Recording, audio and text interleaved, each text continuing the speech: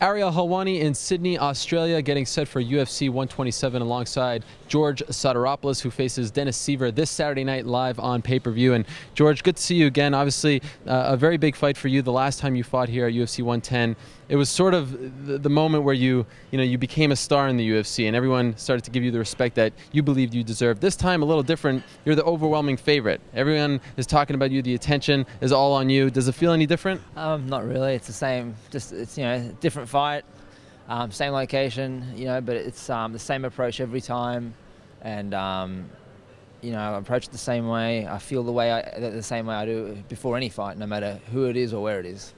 You have to sort of carry a lot of the, the media stuff, obligations, things like that. Do you like doing that?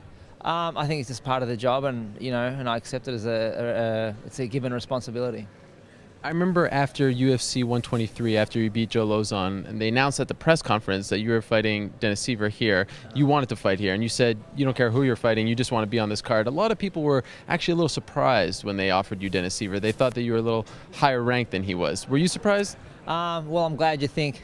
I'm glad you think so, but. Um, no, I think Dennis uh, is definitely a worthy opponent. He deserves to be where he's at he's earned his spot and his place in um, in the UFC, and um, and everybody's everybody um, is a threat, and everybody you know must be respected.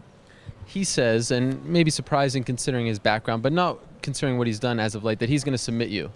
Is that is that sort of you know raise a little you know fire under you that you're actually gonna tell him that you know you're not really gonna submit me you know you better watch what you say. Antics. Yeah, antics. antics. yes, that was the word I was looking for. antics. what do you think of him saying that? Is he just trying to play games with you? Um, yeah, I think he's playing games. Are you expecting him to try to take this fight to the ground? Um, I'm expecting everything. That's it. I'm expecting, look, I'm expecting the fight to be fought everywhere. I'm expecting stand up, wrestling, and grappling. It is mixed martial arts, and the fight will be fought everywhere.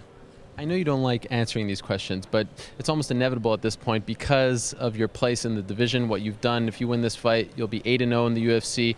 Um, it's, it's a tough spot for you considering the fact that you know Edgar and Maynard are fighting again for the title. Showtime Pettis, if he wins, he's probably going to get the next shot. Even if you do win this fight, you still have to probably wait a very long time. Is that frustrating? Look, 8 0 sounds great, 10 0 sounds better, and um, you know, I'm patient guy. I've got a long-term view on this sport and what I'm doing, and um, you know, I'll earn my spot, I'll earn my keep, and um, I'm happy to keep, continue doing what I need to do to, to get that belt. Perhaps you say 8 0 sounds great, 10 0 better. You win a couple more fights, main event here next February for the title. Is that sort of the plan? Um, whatever, it, whatever it takes. It's yeah, there is no plan. It's just you know, basically, I'll keep doing what I'm doing, and um, the rest will take care of itself. Where's home for you right now? Um, home is in the in the cage for me right now, and um, my life revolves around that. So you don't have a specific city that you live in? Uh, I actually live in Vancouver, Washington. That's that's where my home is right now. And but when you fight here in Australia, do you come here a little? You know, maybe uh, the, the typical fight you come a week out. Do you come here maybe two or three weeks out because you're from here? No, I'm just following the, the set schedule, and um, that's all I need to do. Has it been fun this time around that you don't have to answer the questions about your gear? The last couple fights, you've always had to sort of defend yourself. Dennis, this time, not going that route.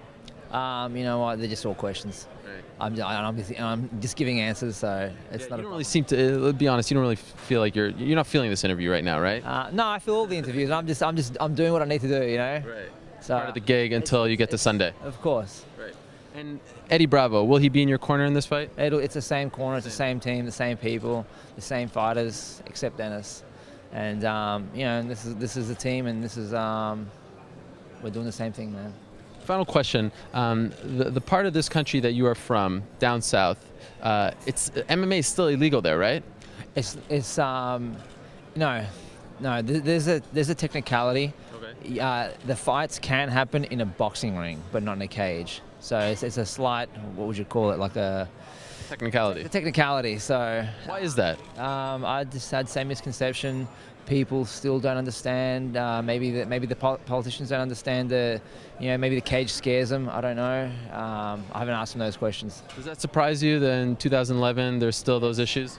it, it is 2011. Man walked on the moon 50 years ago.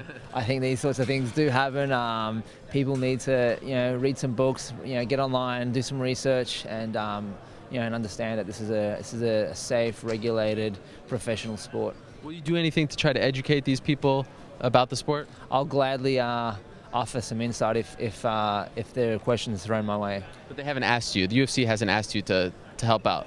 Um, no. Well, there was a there was a time when that they were uh, looking to uh, utilise my services, but um, then there were some changes in, in the government, and um, and I haven't heard anything since.